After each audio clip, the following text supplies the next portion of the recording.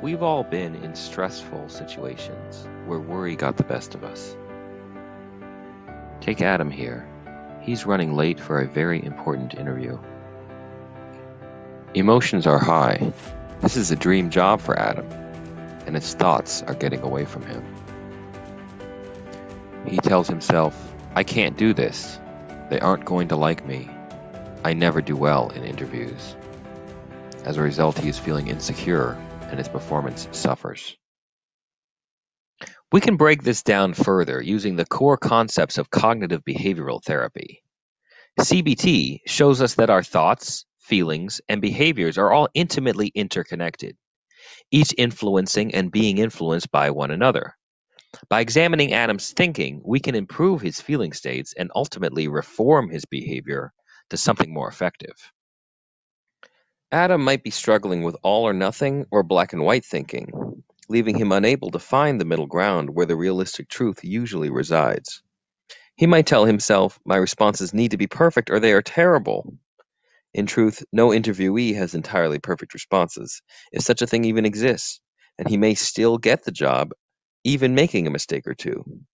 Adam's desire to be perfect is interfering with his ability to be good enough. With overgeneralizing, Adam uses extreme language like never, always, everything, and nothing to find a demotivating pattern where one may not exist. To Adam, these unrealistic patterns become the rule, and he feels defeated before he even meets his interviewer. Adam's hypervigilant defensive state may be creating a mental filter, wherein Adam focuses only on threatening or negative information while positive information goes unrecognized. Adam for sure noticed the moment when his interviewer appeared to frown, in fact, he noticed it so much that he didn't see all the smiles she gave him before and after. This filter just gets even worse when we choose to dismiss the positive information that we see. The interviewer might be enthusiastically nodding and smiling. However, Adam might still tell himself, she's just being nice and professional. It doesn't mean anything. This has been an example to illustrate how our thinking styles can either give us a boost or hold us back in any given situation. The list of unhelpful thinking styles does go on.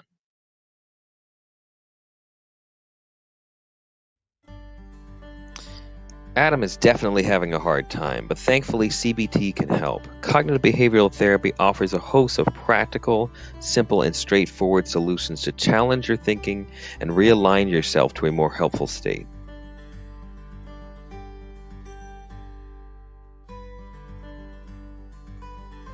With these core concepts in mind, Adam is ready to face the challenge. He's going to crush it.